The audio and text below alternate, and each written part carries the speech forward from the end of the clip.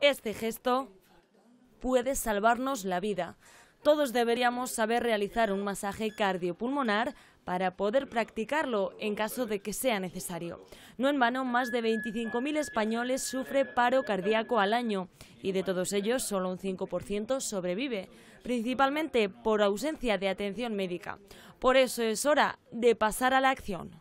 El primer interviniente, el que se encuentra a la parada, no basta con llamar al 112, tiene que remangarse y empezar a dar compresiones torácicas. ¿eh? efectivas hasta que llegue la ayuda.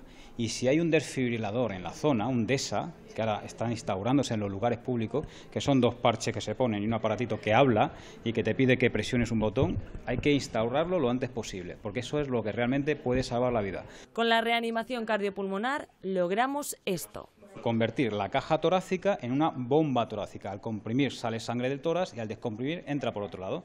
un bombeo similar al bombeo sístole-diástole del corazón.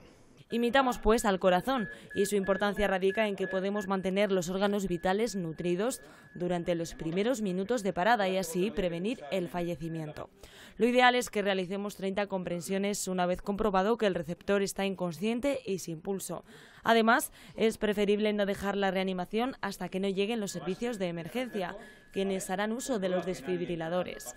Este es precisamente un objeto que se está implantando en los espacios públicos. Debería haber un desfibrilador en todo lugar público y si es deportivo, con mayor motivo. Este curso que imparte el Colegio de Enfermería está destinado a profesionales, pero nos recuerda que todos debemos poner nuestro granito de arena en cualquier situación de emergencia. Nos va la vida en ello.